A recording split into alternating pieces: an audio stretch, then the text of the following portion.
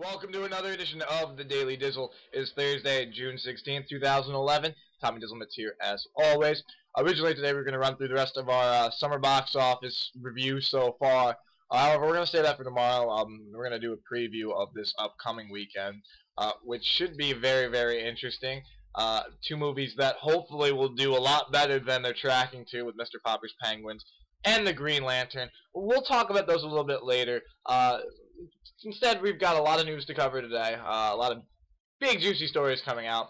Um, of course, the one thing I was most disappointed about not having the Daily Dizzle going, you know, I was disappointed not being able to cover the movies that came out as they were coming out and as they were bombing.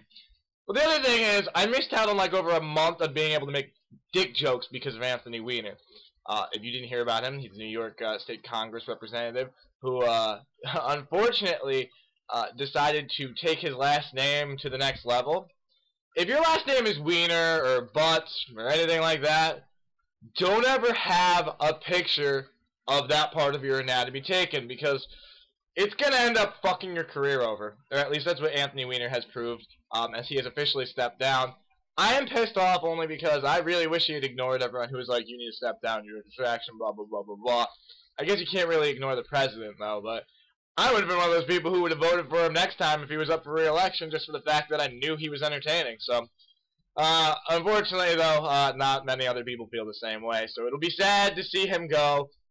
And, um, well, it's got to put a strain on him and Jon Stewart's friendship, right? Considering Jon Stewart, he wasn't the one to hammer it home so much, I mean, you had other news outlets, of course, but uh, I wonder if that's going to make them uh, have some awkward uh, hangout dinners next time they try and catch up. Uh, oh, so uh, so Anthony, what what happened since uh since uh you resigned because of the dick pictures?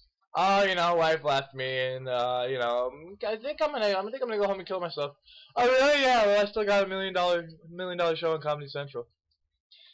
That's got to be real bad in the next couple of years, but who knows? Maybe uh, Anthony Weiner, uh, now that he has a lot of free time, might end up popping up as a guest every so often, uh, a little more than he used to.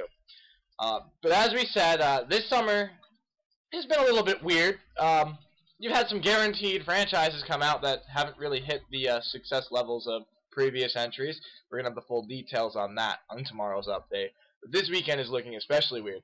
You have Green Lantern, a real unknown property around the world that Warner Brothers has decided to shell out almost $300 million just to make sure that the special effects look decent and they're rushing to get those done for the last second for uh, the American release. That's why a lot of the rest of the world isn't going to be getting it until like August. Either that is because uh, Warner Brothers knows it sucks. But uh, reviews have just started to trickle out, and so far it's not really pretty though. Uh, the movie's not aimed for the reviewers. It's aimed at little kids and to sell toys and to bring awareness to people who don't know it. And the best way to do that is to have lots of explosions and special effects. So all the reviews so far, uh, last night it was under like 20% on RottenTomatoes.com already. Uh, but a lot of the reviews are saying, oh, there's not a lot of story, you know, it's more just action and loudness and, and colors, and even that it sucks and it's out of control. That's exactly what this current ADD generation of children looks for in movies. That's why Transformers 2, despite sucking a lot compared to the first one, some people didn't really like the first one, but they at least give it credit for being decent, more decent than it had any right to be. The second one was just, you know, took all that goodwill and was like, let's just blow it up. So, at the very least, Green Lantern, uh, you know, the reviews are bad. Warner Brothers is trying to make it their next Harry Potter and Batman franchise, considering Harry Potter ends next year, and they'll have to go back and reboot Batman after Christopher Nolan finishes up his work on it. So it's going to be a very, very uh, interesting experiment to see if Warner Brothers ends up even able to make a penny on Green Lantern. But uh, next week, I will actually be checking it out, so I'll be able to give you know, first-hand reviews of, oh, all right, maybe the reviews were right, and maybe we don't need a Transformers movie that's green and without robots, but with aliens instead. However, uh, the other movie coming out, Mr. Popper's Penguins, this weekend, seems to be uh, going with the uh, Jim Carrey formula that we've seen at work over the last decade of Jim Carrey plus weird predicament equals big comedy. What was the last one that came out?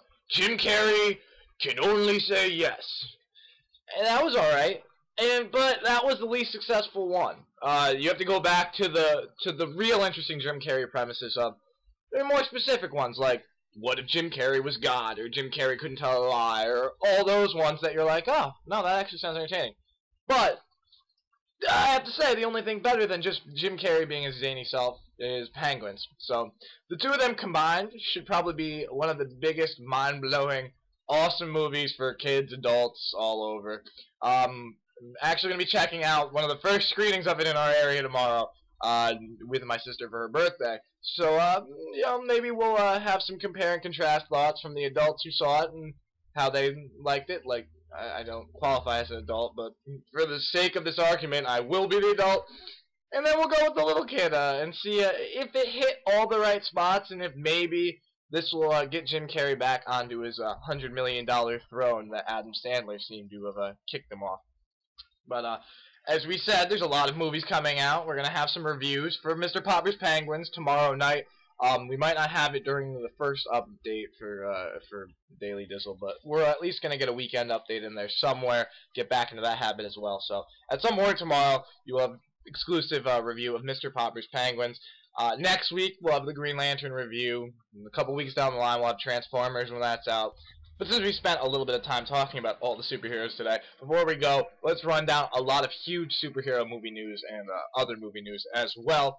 Uh, Expendables was successful last summer, made almost $300 million around the world, which almost instantly greenlit a sequel. Sylvester Stallone was director of the first one. He's going to be involved in the sequel, obviously, but he won't be directing it. However, they do have someone who knows action movies. Has anyone been watching like TNT over the last week when they've been showing Con Air a thousand times? They've probably been showing it because it was the same guy who directed The Mechanic, and that was a movie that just came out recently too. They like to do that, even though if people won't connect the dots, you can just happen to tell. If a director has another movie coming out on DVD, you'll usually see something from him on one of the other channels, or at least one of the other main actors in his film. You'll see them popping up. It's just the, you know uh, an interesting way of trying to tie it in and remind you. Oh yeah, remember he was good in this? Well, maybe uh, this, this other movie will be good too. But you have uh, Simon West, the director of Con Air, uh, coming on for The Expendables 2. Con Air was an awesome action movie.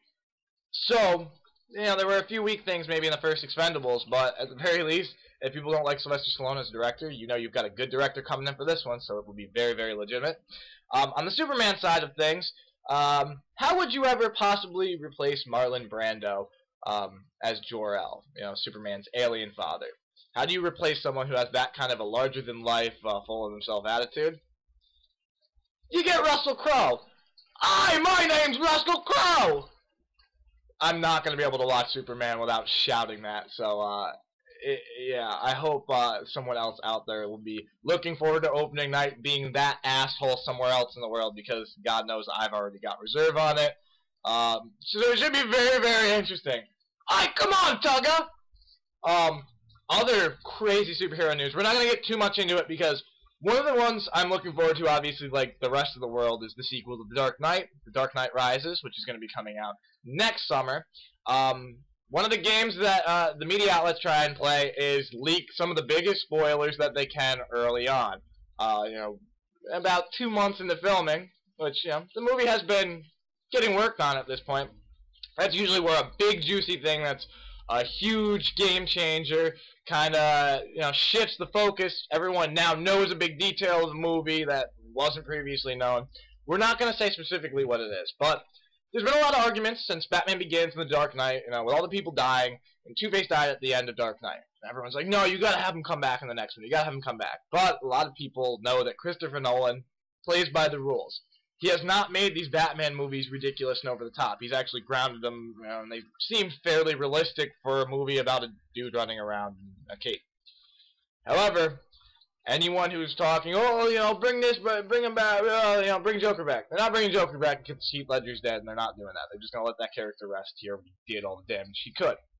However, doesn't mean they might have some kind of crazy, awesome explanation for you know people who died who might not really be dead.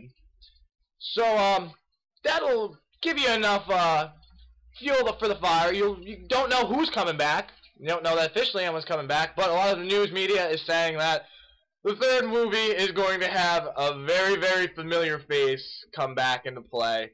And holy shit, it's just gonna be awesome. So, if you weren't excited for uh, being 400 days till the Dark Knight Rises, uh, I think it's actually under that at this point, which is awesome. So, be ready for the Dark Knight Rises. It's definitely going to pack a punch. Um, be sure to check back here tomorrow. We will have the rest of our catch up on the summer box office. We'll have exclusive review on Mr. Popper's Penguins, and we'll see what else we can round up as well. So, for today's Daily Dizzle, I'm Tommy Dizzlemits. Hopefully, we'll see you on Friday.